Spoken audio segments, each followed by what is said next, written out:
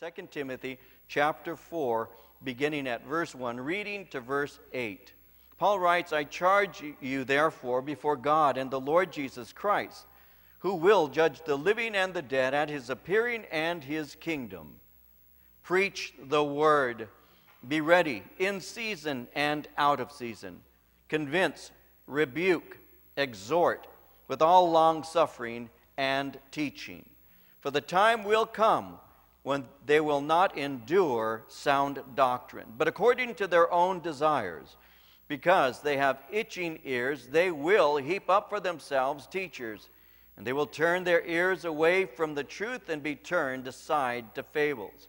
But you, be watchful in all things, endure afflictions, do the works of an evangelist, fulfill your ministry. For I am already being poured out as a drink offering, and the time of my departure is at hand. I have fought the good fight, I have finished the race, I have kept the faith. Finally, there is laid up for me the crown of righteousness, which the Lord, the righteous judge, will give to me on that day. And not to me only, but also to all who have loved his appearing. Now, as we look at this final chapter of 2 Timothy, as we look at chapter 4, Paul has been instructing Timothy concerning last days conditions. And as he has been sharing with him, he had told him that in the last days, dangerous, evil times would exist. He made it clear in chapter 3 that believers would be persecuted, that evil would flourish, and that deception would grow.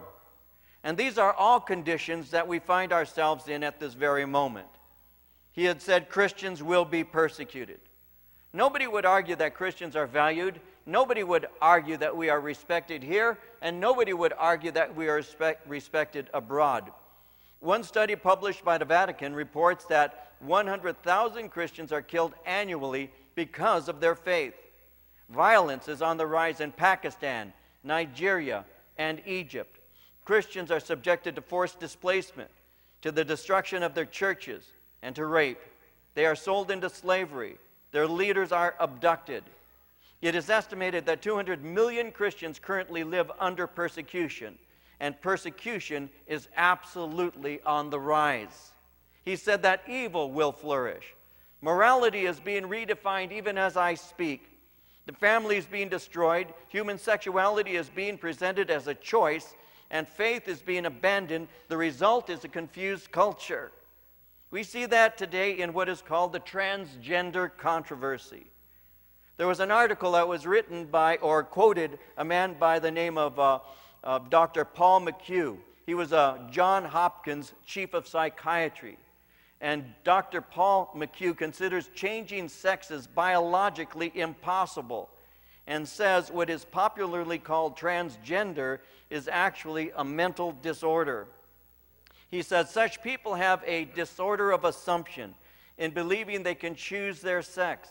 He cited a study that said transgendered people who have reassignment surgery are 20 times more likely to commit suicide than non transgendered people. McHugh said the, trans, the pro transgender advocates do not want to know that studies show between 70% and 80% of children who express transgender feelings spontaneously lose those feelings over time. Also, for those who had sexual reassignment surgery, most said they were satisfied with the operation, but their subsequent psychosocial adjustments were no better than those who didn't have the surgery. He went on to write that changing sexes is impossible and that what transgendered people actually do is become feminized men or masculine, masculine, masculinized women. Isaiah 5 20 through 21 says it like this Woe to those who call evil good and good evil, who put darkness for light and light for darkness, who put bitter for sweet and sweet for bitter. Woe to those who are wise in their own eyes and prudent in their own sight. So we're seeing that evil does flourish. Third, deception will grow. Deception is not simply propagated by non Christian religions and Christian, so called Christian cults. It is mainstreamed into church services because the people are not taught and therefore are not spiritually discerning. Spiritual discernment is developed by a careful study of the Word of God. And if you don't have a foundation of Scripture, you will be open to spiritual deception. The psalmist said it like this in Psalm 119, 105 Your word is a lamp unto my feet and a light unto my path. Your, your pastor is to take you through Scripture so that he can develop you into your spiritual understanding. Today, actual Bible studies are boring for some who are spiritually dull and immature. And yet, Paul said, I testify to you this day that I'm innocent of the blood of all men, for I have not shunned to declare unto you the entire counsel of God. We are called by God as pastors to take our churches systematically through God's Word.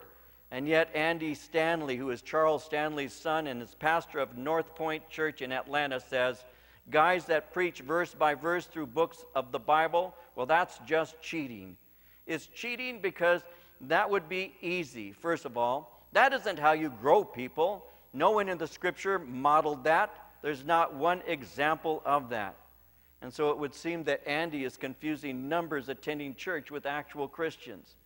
You see, the exhortation is for Timothy and all faithful believers to remain steadfast they're to remain firm in the things they've learned. They're to hold fast to the scriptures. And in light of this, uh, Paul continues exhorting Timothy. I want you to see what he has to say here. Notice how seriously Paul considers this. He begins in verse 1 by saying, I charge you, therefore, before God and the Lord Jesus Christ, who will judge the living and the dead at his appearing and his kingdom, preach the word. Be ready in season and out of season. Convince, rebuke, exhort with all long suffering and teaching. When he said, I charge you, therefore, before God, the word charge there is a military command. It conveys urgency in response and an obligation to respond. Paul is a superior officer. He's giving a direct order to a subordinate. Timothy understood and valued that. Paul was a general in the army of God. Timothy was an officer, but under his orders. And this understanding of ministry is lost on many today. It's difficult to find a faithful young man who understands that they first must learn before they can lead. Paul is saying, Timothy, you are a soldier. You are under military orders. Therefore, carry them out. And Timothy understood that. He understood he was in spiritual combat. He understood that he needed to follow orders. You see, the military is not a democracy. When I was serving in the military, we didn't take a vote. If our commanding officer said you were going to do this, that's what you did. I can still remember Captain Daniels, who was our company commander, having us assembled on a Saturday. And I had a company of something like 360 to 400 men. And he assembled us on a Saturday. He got us up early on a Saturday, and he had us standing there in formation. And none of us was happy. Not a single one of us, because we were used to working five days a week, and we had Saturday and Sunday off. It was almost like a job. So he assembles us and he comes out and he stands before us and he begins to address us and he says to us something like this. He says, Some of you men are very upset because I have you assembled here on a Saturday and you think it's your day off. Let me remind you something. You do not belong to yourself, you belong to Uncle Sam. And if I tell you to get up, you get up. If I tell you to go to bed, you go to bed. You're under orders. Now, I didn't like that. I have to be honest with you. I didn't like that, but it was true. It was true. I was under the military obligation to follow the command of a superior officer. And when they gave the command, I was to follow it. If it was a lawful order, I was to follow it. I didn't have or have any responsibility to make the decisions. I didn't say this is what I think we're supposed to do. I didn't have that place. I was simply a, a spec four. That's what I was.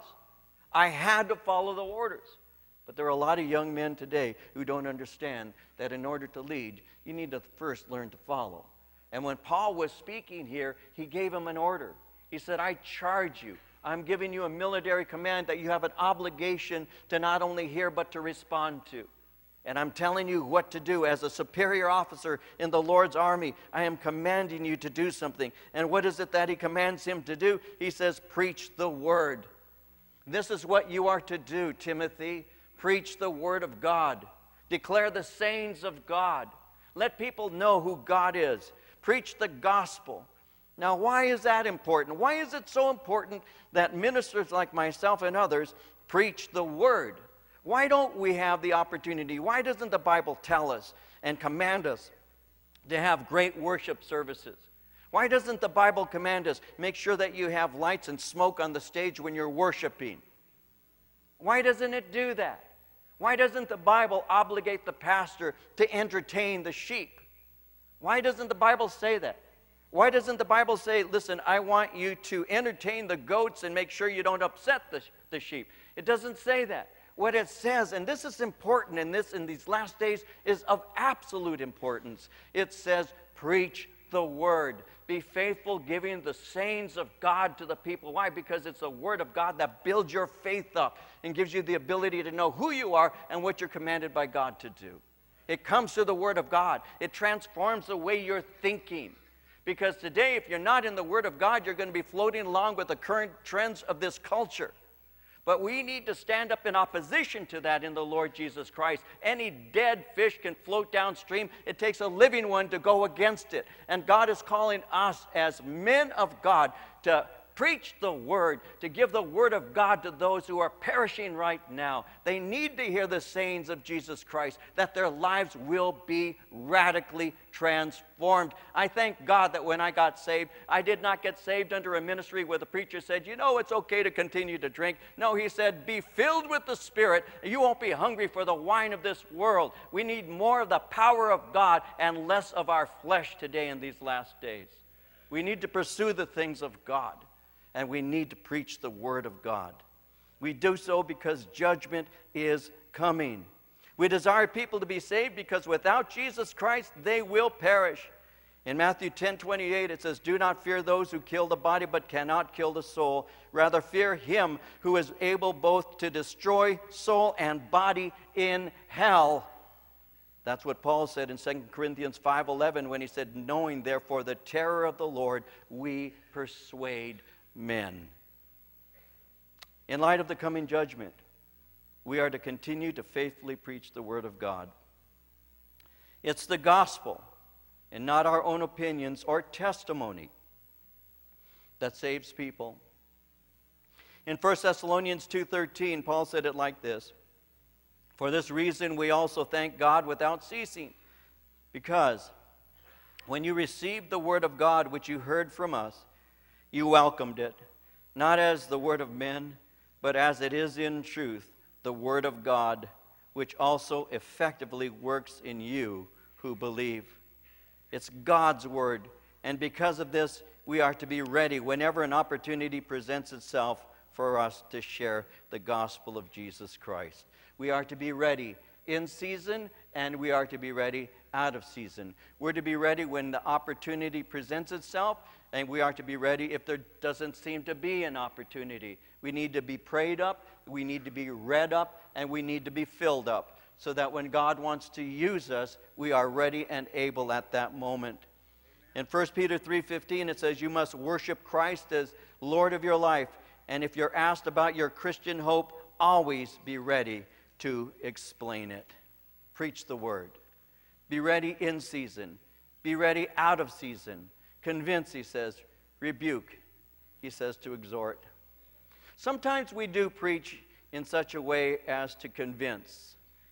The word convince means to show faults or bring conviction, and it brings that to those who are listening. One of the things we've all discovered is truth sometimes can be very direct, and sometimes we need to be direct too. When I was talking to my dad, I was a 20 year old hippie, just got saved. 20 years old. It's hard to believe five years have already passed.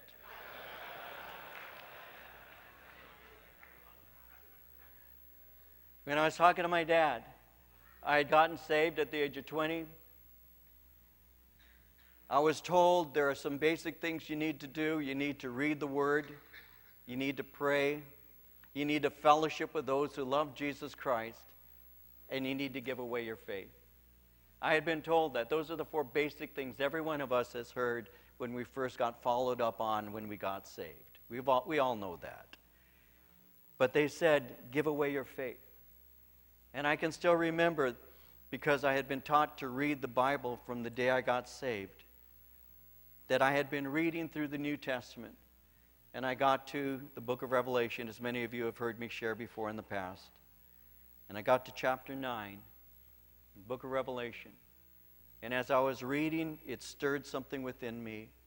My mom and my dad were in the kitchen. They used to go to the kitchen, drink a cup of coffee, and visit and all. And it was an afternoon, early evening, as I recall. And I was reading Revelation 9, and I walked into that, that uh, kitchen there, and I put the Bible and I held it in my hand, and I opened up to the passage, and I lifted it up, and I said, Mom and Dad, this is the Word of God. And hear what God has to say. And I read to them Revelation chapter 9. And I said, I don't know what this means, but I do know this. It is not speaking to me, it is speaking to you. And I looked at my dad and I said to my dad, Dad, you're a good man. You are the best man that I will ever know. But you will be the best man in hell if you don't give your heart to Jesus Christ. I said, Daddy, I love you, and I don't want to go to heaven without you. Bow your head you're going to receive Christ right now. Now you have to you have to take into consideration. I'd been a you know doper. I'd been doing dope for five years. I was you know I was only 20. I started when I was 15. I was an alcoholic, and I was just I, I was a lazy bum. I never worked. I, I was everything you don't want your son to be. That's me. I was an angry young man arrested for burglarizing a jewelry store, arrested for drunk in public, arrested when I smashed my car into a pole. I was just a messed up kid, brought nothing but sorrow and heartache and shame to my family. You need to know that. Arrogant and angry. I hadn't been sober more than two days in a row in a year. I was getting worse, not better. And then I go and I hear this gospel message. God can take you and He can transform you. He can change your life and fill you with the power of the Holy Spirit. He can forgive you of all of your sins and He can conform you into the image of Jesus Christ. You can become a brand new person because of Jesus Christ. Now, that did not come through some man's opinion, that did not come through some popular speech. That came through the Word of God. And when I heard the gospel and Arthur Blessitt presented it to me, and he said, If you need Jesus Christ, stand to your feet. And I committed my heart to Christ. There was a massive transformation. And so when I was there speaking to my dad after about three weeks of walking with Jesus Christ, and I said, You're going to be the best man in hell if you don't give your heart to Jesus Christ. My father's first response was he wanted to get up and hit me. How dare you tell me, a good man, that I'm going to hell? You little doper, you little punk. I bailed you out three times. You know what I'm saying. I bailed you out. I paid for a lawyer to keep you from going to jail. And you're standing here telling me that. And my dad told me that. He said, My first inclination, David, was to stand up and hit you when you told me I was going to hell. But when you said you loved me and did not want to go to heaven without me, that spoke to my heart. And that's what brought my father, not only my father, but my mom, who was seated next to him, bowed her head and gave her heart to Jesus that day too. And it comes through the power of the gospel of Jesus Christ. The power of Jesus Christ.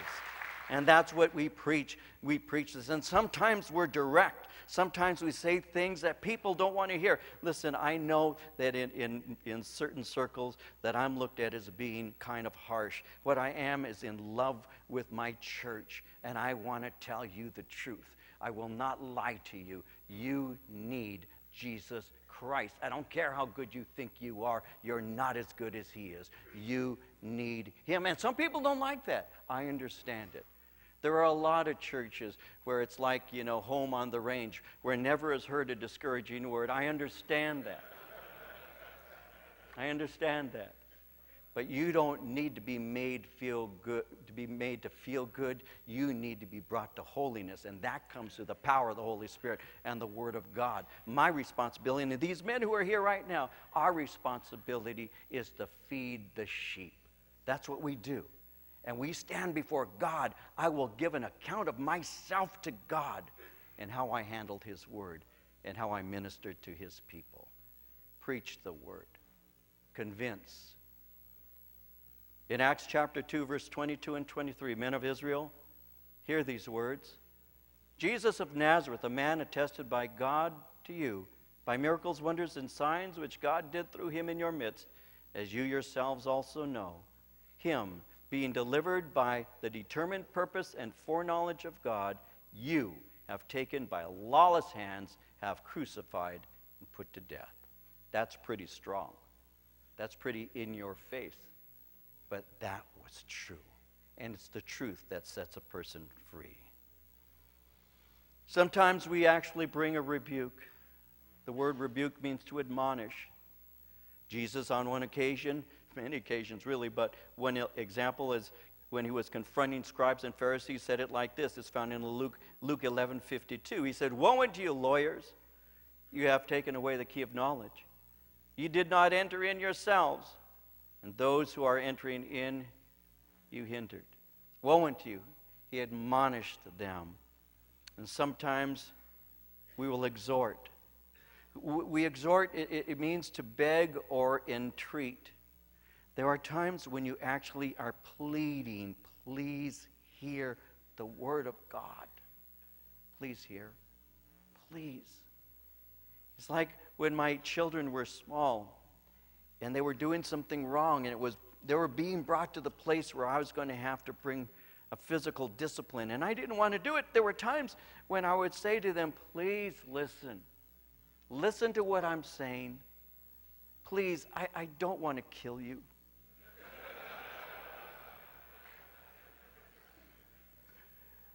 Please listen. Sometimes we, uh, we don't. Sometimes we don't listen. I was one of those young men that when my father would lecture me on occasion, he did, that I would be daydreaming even as he was speaking. And I would look at him and I would nod when I felt it was an appropriate moment. But I was thinking of when are you going to stop this so I can get out of here? I got things to do because I wouldn't listen. And yet, at a certain point in my father's life, my father, when I was in trouble, my father began to plead with me Please, son, listen. Please listen. Because the path you're going on is going to end up with your death, with your destruction. Please listen. My parents would tell me, son, you shouldn't drink. My dad actually tried to teach me to drink responsibly because he knew that I was when I didn't drink a beer, I drank a six pack. That's how I began the night. I didn't start with one beer. I started with my, my, my Friday night when I was 18 started with a half gallon of wine and a quart of beer. That's how it started. I could drink my father under the table when I was 17 and 18 years old. I could sit there with my dad and I could pound the beer and he didn't know. I could drink, a, I could drink half a pint of, of scotch, of whiskey, and I didn't get buzzed.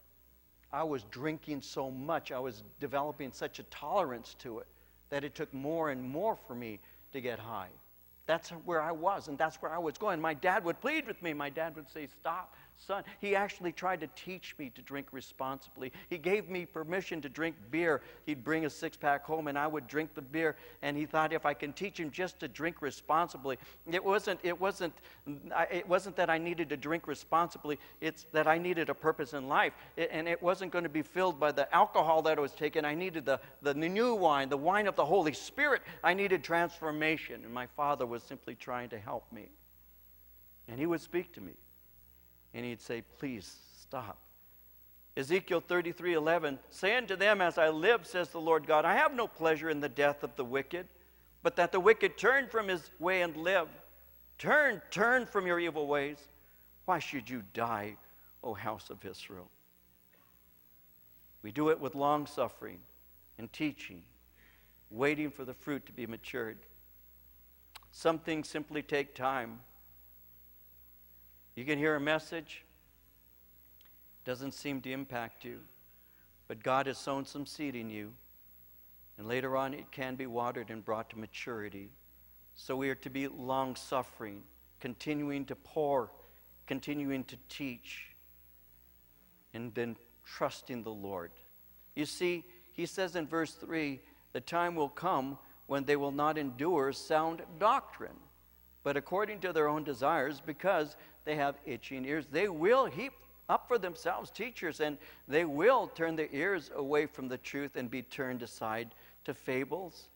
The time will come, he says, when they will not put up with, not endure healthy teaching. They do not want Bible studies. That time's now. Sound and healthy teaching is not popular in many quarters. That's because people today are man centered, not Christ centered, and not Bible centered. Jesus was speaking on one occasion to his disciples, as found in Matthew chapter 24. They had just marveled at the beauty of the temple. And Jesus had made a statement to them not one of these stones will remain uh, upon the other. It's all going to be destroyed. And so they, they ask him, What is the sign of your coming? When will these things be?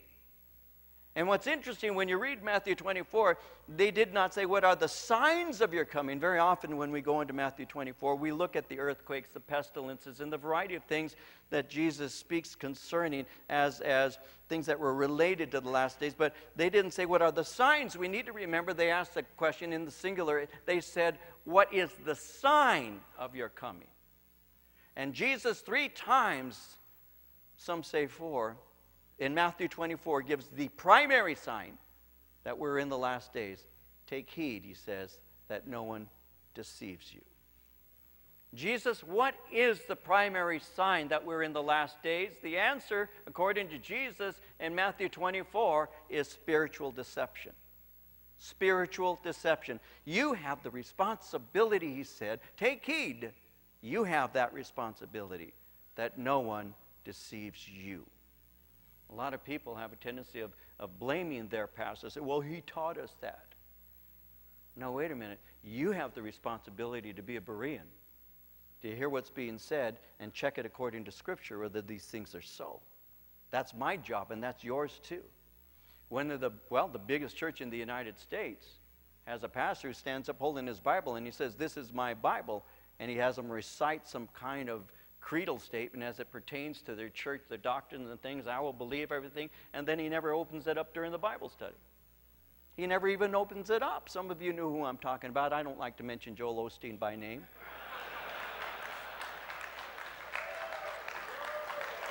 But you know who I mean. And then he doesn't teach the Bible. 48,000 people go to that church. Must be successful. It is in terms of keeping the sheep and the goats mixed together and, well, entertained. Is that a church? Have we redefined what church is? I think so. I believe so. We've redefined what church is. We are the called out ones, the ecclesia, called out by God, separated from the world, separated unto Him, fed by His word, transformed by Him, taking this message of transformation out to the world. That's what the church is born again people born from above by the power of the Holy Spirit, forgiven of our sins, names written in the Lamb's book of life, confessed our sins, forsook those sins, repented, and turned to the Lord Jesus Christ. That's how we got saved. Not because I was water baptized at four months, which I was at a small church in Los Angeles called the Plaza Church. Some of you were baptized there too. Every Mexican in Southern California was baptized there. It's a fact. Some of you don't know I'm a Mexican American. I say that because they look at me and say, that white guy talking like that? No. I'm just vanilla.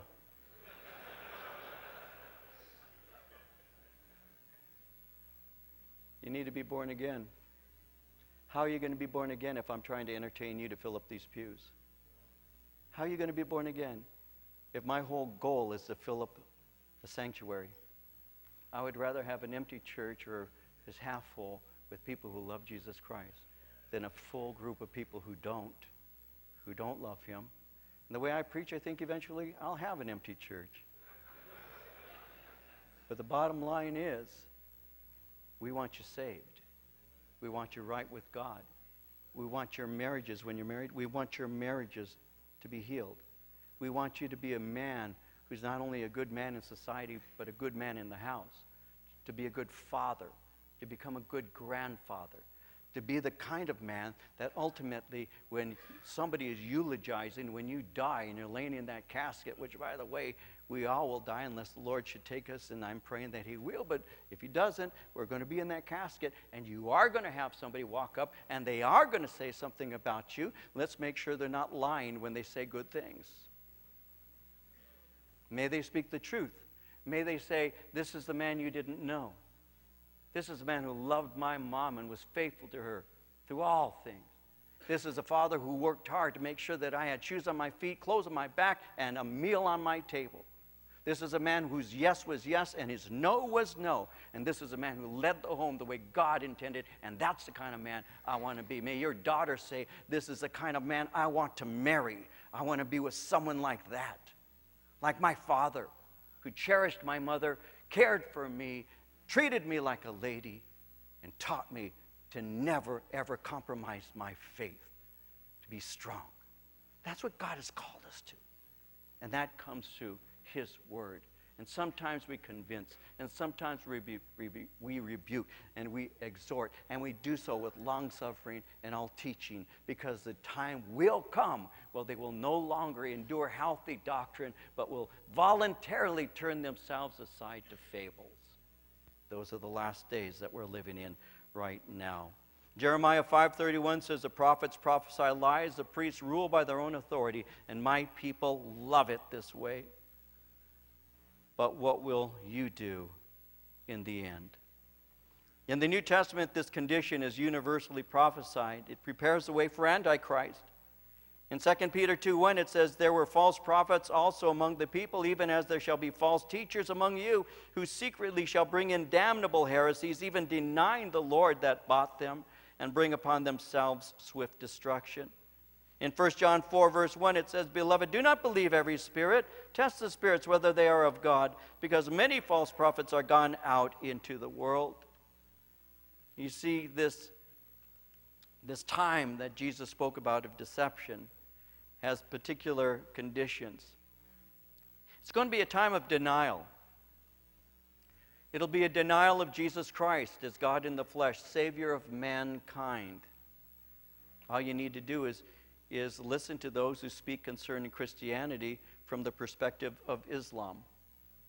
And they'll say to you that God has no son. It's one of the fastest growing, quote unquote, religious faiths on the face of the earth. It's a denial of Jesus Christ, the Son of God. In 1 John chapter 4, verse 3, every spirit that does not confess that Jesus Christ has come in the flesh is not of God. This is the spirit of the Antichrist, which you have heard was coming and is now already in the world. There will be a denial of the need for a holy life. Grace will be perverted into permission to continue in sin. Ephesians chapter 5, verses 5 and 6 says it like this This you know, no fornicator, unclean person, nor covetous man who is an idolater has any inheritance in the kingdom of Christ and God. Let no one deceive you with empty words, for because of these things the wrath of God comes upon the sons of disobedience. Third, going be, there's going to be a denial of the need for solid doctrinal teaching. That's what we see in this passage. Fourth, there's going to be a denial of God through their lifestyle. There will be pastors who live lifestyles that undermine the power of the gospel. See, the, the, the message of the gospel is transformation. We have the information, we have the assimilation, and we have the transformation. We, we're not saved just by information alone, we assimilate it in order that we might be transformed by it, and we assimilate it by faith. And there will be many people who profess themselves to be Christian when in reality their lifestyles undermine the power of that gospel. Listen, the message of the gospel is a message of transformed lives. Of transformed lives. Once I was lost, now I'm found. Once I was blind, now I see. Once I was spiritually deaf, now I can hear. Once I was walking in sin, in darkness, now I walk in the light. It's a transformed life. My dad said, after telling me he wanted to beat me up when I gave him the gospel, he said, That made me angry, but I had, be, I had been noticing something. David, he said, he said, You were a bad kid. So when you said you became a Christian, my dad said to me, Well, I said, Yeah, he needs God. He said, But your sister Madeline, who was a good girl. And indeed, my sister Madeline was a model girl. I mean, at the age of 16 and 17, she would stay at home. She never went out. She would stay at home and she would be seated between my mom and my dad. They would make popcorn and they would watch TV together on Friday night and Saturday and Sunday. She didn't go out. She married her first boyfriend. She was the epitome of a great girl, the kind of daughter you'd want to have, a great gal. He said, Now, he said, I knew I was better than you. But he said, I wasn't better than Madeline. You see, what happened when I got saved, I came home and I walked into the den, and there I am, this wild eyed hippie kid. I just gotten saved, and I walk into the den and I, I say, Mom, Dad, Madeline, Becky, you know, I love you, praise the Lord. And I walk out of the den, and my mom freaks out because she thinks I'm loaded. She thought I was loaded on something and she freaks out and she comes and she, she's staring at me as I'm sharing with my sisters what had just happened. And my mom went into her bedroom and did a rosary for me because she was sure that I had gone crazy.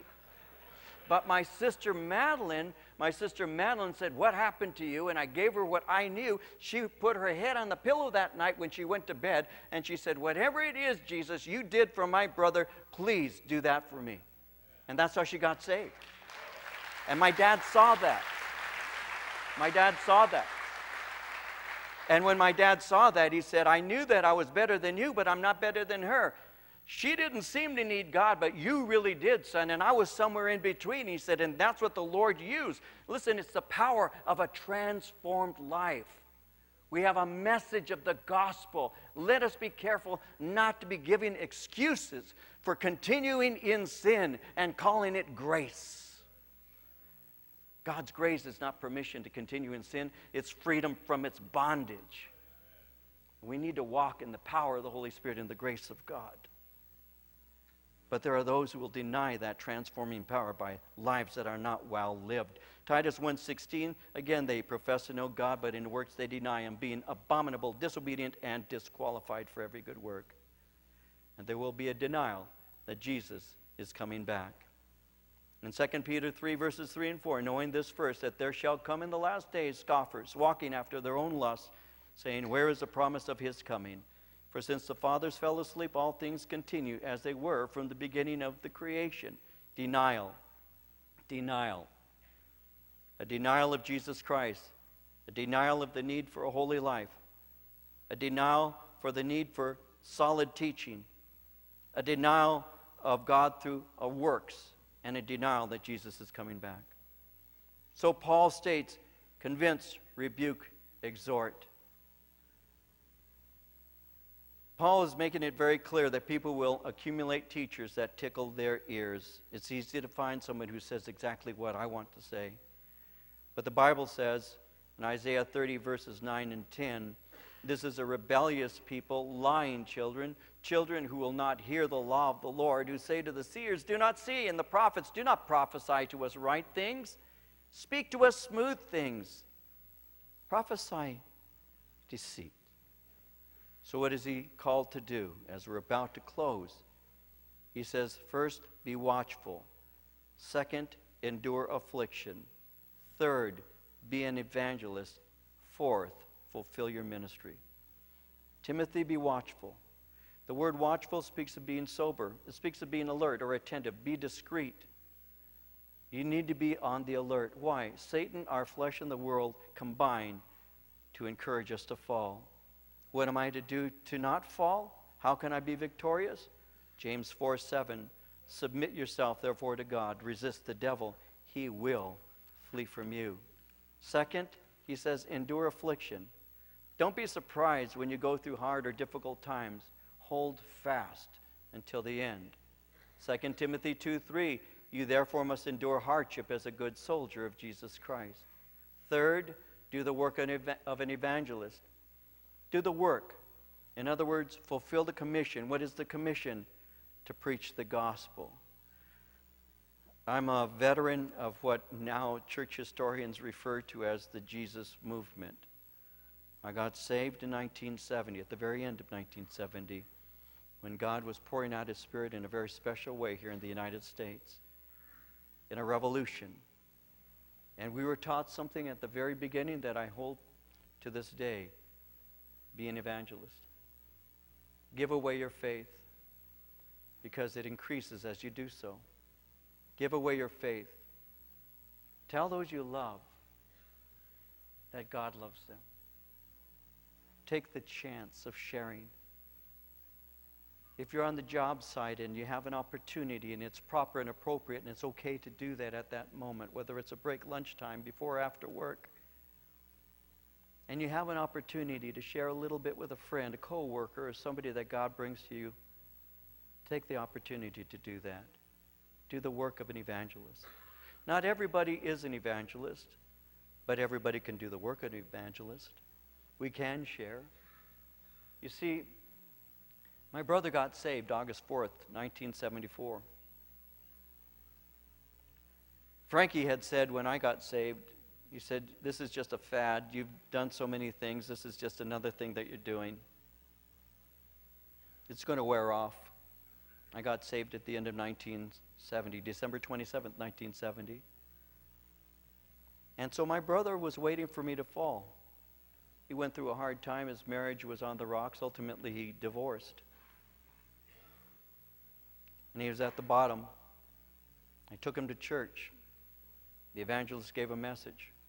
My brother went forward, got saved. August 4th, 1974. It was a Sunday night. It's now early September, and my brother hasn't been going to church enough. He goes on Sundays but doesn't get the word. I'm concerned for him. So I say, Let me teach you the Bible. I start driving from Norwalk, where I grew up, to Ontario. And I started teaching him on his, in his little apartment there off of San Antonio And uh, as I'm teaching him, San Antonio and Holt, right off of D Street, B Street, it was B Street. It's a little park there. My brother used to live in an apartment complex right across the street from the park. As he's teaching this Bible study, he starts in, I'm teaching the study, he starts inviting friends. One day, this young gal comes walking in, kind of all sassy and this and that. She sits down. Phone rings, she gets up. I hear her talking. Some guy called her up. She says, Oh, I'm not doing anything. Yeah, I'd love to. Makes a date with this guy. And she sits down and she looks at her friend next to her and they start giggling. I don't know this girl from Eve. I've never seen her in my life. But as I'm seated there and she's about 10 feet away from me, I think within myself, I'm going to make her giggle about me, just like she's doing that one day. I don't know why that came to me. I don't know if that's God's inspiration or idiocy on my part. But I remember thinking that she's going to giggle about me someday. Two weeks later, she comes to the Bible study. My sister Madeline leads her to Christ. And I begin to date that girl and married her. And she giggles about me to this day.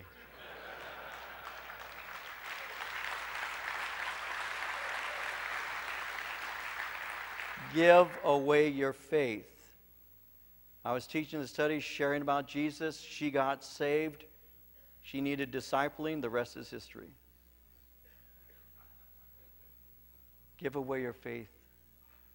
Give away your faith. You can gain the whole world. You can have so much success, guys. Listen carefully, please. You can have that car. There's nothing wrong with having a nice car, by the way. You can have the nice house and all those other things. All of that's fine. Thank God. Bless you, Lord, for blessing me. I appreciate it. I really do. Thank you. But if I've gained the whole world and I live, lose the souls of my children, what have I gained? Listen, I've said it before and it's true. I, I don't really care if my my children became successful in the eyes of the world, if they had a lot of money and things. That, that, never has been my goal. I wanted them to do the best with their life and the gifts that God gave to them and honor the Lord in all that you do because the most important thing to me is not what they gain here, but that they will be in eternity with the Lord Jesus Christ and me. That's what I want. I want my children to know Jesus Christ and my grandchildren. Do the work of an evangelist. Bring people to know Christ. And so finally, a couple of thoughts. I'm ready I'm already being poured out as a drink offering. The time of my departure is at hand. I fought the good fight. I finished the race. I kept the faith. Finally, there is laid up for me the crown of righteousness, which the Lord, the righteous judge, will give to me on that day, not to me only, but also to all who have loved his appearing. I have fought, was a good soldier, victorious in Christ. I have finished. I ran the course set out successfully. Not only did I start, I followed the rules, ran well, completed. I have faithfully kept. I have guarded God's word, remained faithful. I did not compromise. I never watered down God's word. And now, finally, there is something laid up for me a victor's crown. My faith filled expectation is to receive that crown. I finished my race properly. I followed the rules. I did not cheat. I finished the course and I have a crown of righteousness, this wreath that symbolizes my accomplishment. I will be crowned with righteousness because that has been my goal all along. I have hungered, Paul was saying, and I have thirsted after righteousness, and one day I will be satisfied in it. God was still pruning him, God was still working on him throughout his life, but that crown was his. And this crown is not his alone, but is given to all who love God and all who look forward to seeing Jesus Christ. We know that we are passing through. We know that heaven is our home. And what I'm growing to have more daily is a sense of homesickness because one of these days, and it's not that long from now, I will look into the eyes of the one who wept in the garden for me. And I will have an opportunity to see him face to face. And I've already rehearsed what I hope to say. Of course, this is probably just my own hopes. Who knows, really? But if I had the opportunity to say what's been in my heart now for many years, it's very simple. I'm simply wanting to look into his eyes and I'm wanting to say to him, Thank you for all you did for me. I love you, Jesus. Thank you.